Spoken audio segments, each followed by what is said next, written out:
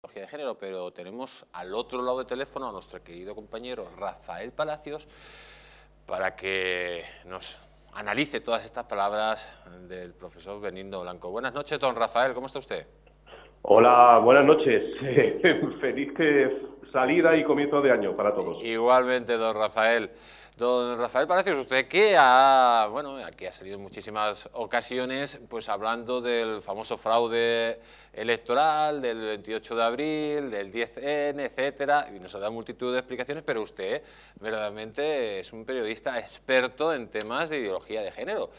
Y cuando oye pues todo lo que ha dicho Benigno Blanco, mm, ¿qué tiene usted que decir? Bueno, pues eh, en realidad es lo que se llama mi tema. Yo empecé, en, digamos, en Internet con, con ese tema hace ya 20 años. Eh, para que te hagas una idea, mi primer artículo como Rafa Pal, que es como se me conoce en Internet, se llamó Ser gay es guay, que tuvo unas críticas feroces porque yo en aquel momento me, movía en todo este ambiente bohemio de, de Malasaña y, Lavapiés. Y bueno, pues eh, he estado diciendo con muchos años de antelación, no solo en España, sino lo que iba a suceder en Hispanoamérica, porque tengo muchos seguidores hispanoamericanos y bueno, se ha ido cumpliendo esta agenda.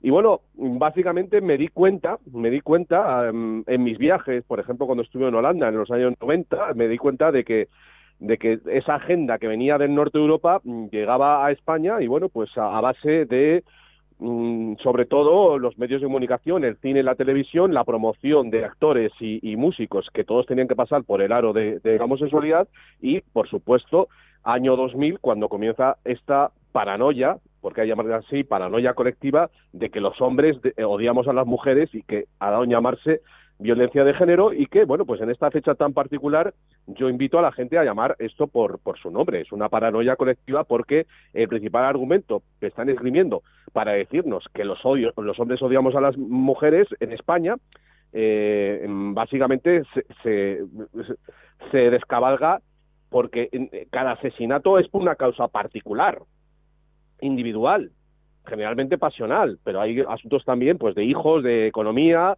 eh, de drogas y no se nos cuenta por qué es cada uno de esos asesinatos y de esa manera eh, sigue esta, esta, este fantasma de la violencia de género como si fuera algo real. Realmente es un hechizo, es un, conjuro que están colocando a, a las mujeres y, y, bueno, pues es evidentemente cualquiera que tenga dos dedos de frente y que tenga dos ojos en la cara, hay que relacionar lo que está sucediendo en los últimos 20 años con esta presión mediática de, esta paranoia con el incremento de la homosexualidad, mm, sobre todo el lesbianismo. Es algo que es evidente los, y, yo, o sea, tengo comprobación directa de que hay... Don, Rafael, no sé si me escucha.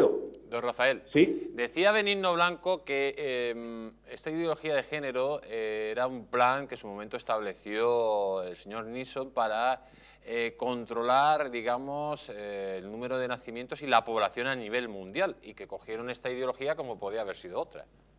No, yo no estoy de acuerdo que puedan coger cualquier, cualquier otra.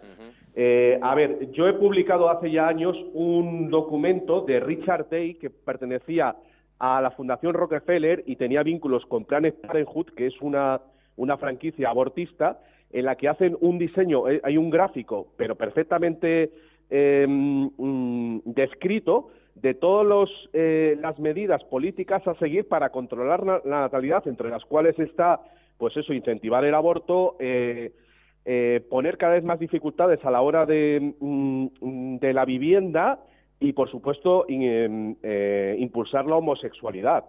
Pero no es por cualquier cosa, es que, a ver, para que controlar la natalidad, evidentemente, si tú separas al hombre de la mujer, pues eh, va a ser más difícil y de hecho hay muchas mujeres hoy en día que están teniendo hijos solas y claro, es muchísimo más complicado sacar adelante eh, una familia, sí. O sea, eh, la naturaleza no ha hecho, la naturaleza y, la tradición no han hecho las cosas porque sí, esa es una labor destructiva de, de construcción de la civilización humana. El, la familia, hombre, mujer, hijos, es así porque funciona y ha funcionado toda la vida y bueno, pues esta gente lo que quiere, lo que ha conseguido es aculturizarnos nos está robando nuestra tradición, nuestra, nuestro conocimiento, porque es, eh, la tradición es un conocimiento de lo que funciona, para de esa manera atomizarnos, separarnos, eh, incomunicarnos y volvernos locos. Eh, el, paso final del feminismo lo estamos viendo cada día con todos estos vídeos que estamos viendo de, eh, diciendo que el violador eres tú. Está, realmente esto es, un, es algo eh, psicopático, eh, es un problema mental global y es una paranoia colectiva porque hay mucha gente que, o sea, y, sobre todo mujeres que si les preguntáramos están convencidas de que los hombres odiamos a las mujeres.